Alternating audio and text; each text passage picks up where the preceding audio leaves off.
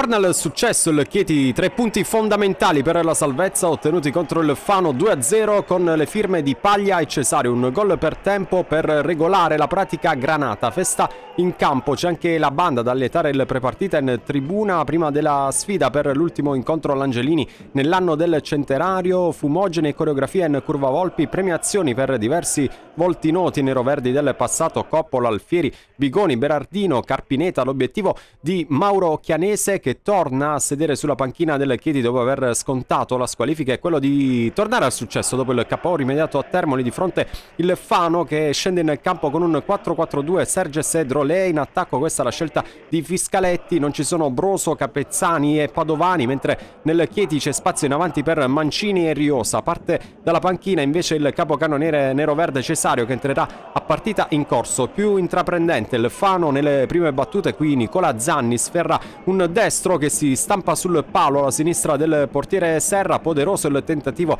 del calciatore Granata, sospiro di sollievo per il Chieti che nel primo tempo spinge da destra verso sinistra rispetto alla tribuna centrale, assente lo squalificato Michele Spinelli, quindi la fascia di capitano al braccio di Damian Salto, l'argentino confermato e di nuovo al centro del progetto in seguito al chiarimento in settimana con la società. Incontenibile quando parte Drolé in velocità tutto apprezzabile fino alla conclusione centrale, nessun pericolo per la squadra di Chianese che torna a proporsi in avanti l'incursione quella del fuoriquota Mercuri inseguito da Giovanni Nappo che con il braccio sinistro sfiora il centrocampista del Chieti intervento lieve che inizia fuori area Mercuri a terra proteste legittime da parte del Fano anche se per Vito Guerra ci sono gli estremi per un calcio di rigore dal dischetto si presenta Davide Paglia che spiazza Tommasino esultanza sotto la curva, Volpi per Paglia 1-0, gara che si sblocca, l'urlo dell'Angelini.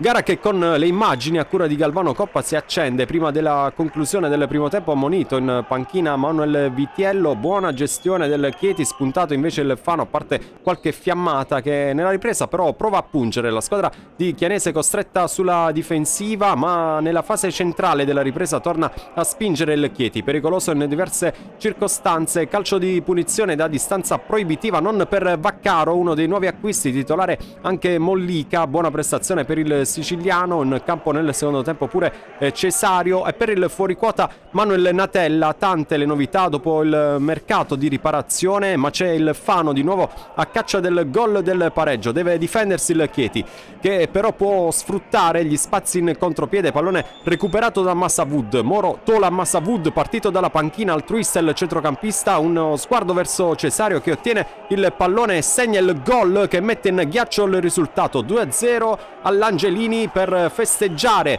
al meglio il centenario. Eh, Fano al tappeto il Chieti, torna a graffiare.